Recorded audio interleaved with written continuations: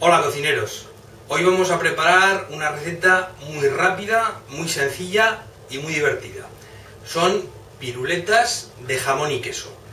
Vamos a ver los ingredientes que necesitamos. Vamos a utilizar una mezcla de quesos rallados, de las que venden en cualquier supermercado, y jamón serrano picado en daditos pequeños. Por supuesto, contra mejor sea el jamón, mejor va a salir la receta. En primer lugar, pondremos a precalentar el horno sobre los 200 grados. Y mientras tanto, prepararemos en la bandeja del horno con papel de hornear unos palillos de este estilo que será sobre los que montaremos las piruletas. Los pondremos, pondremos 6 para esta bandeja y pondremos uno en cada sentido alternativamente. Colocaremos los palillos equidistantes a lo largo de toda la bandeja e iremos cogiendo un montoncito de queso y lo colocaremos, lo esparciremos en la parte superior del palillo. No hace falta aplastarlo ni nada, simplemente lo dejamos y si acaso le damos un poquito de forma.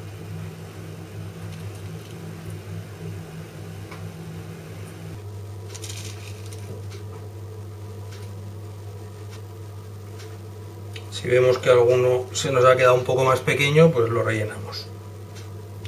Para 6 piruletas utilizaremos aproximadamente unos 150 gramos de, queso.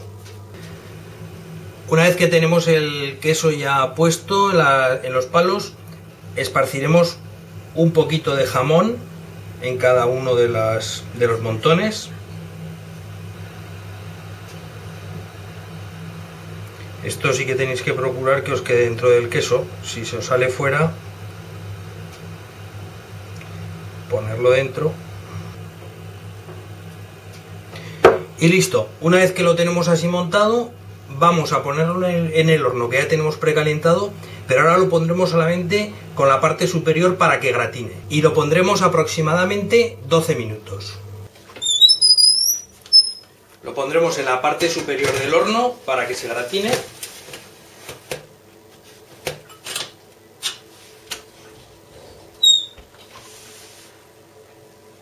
Y lo iremos vigilando para que no se nos eh, queme demasiado.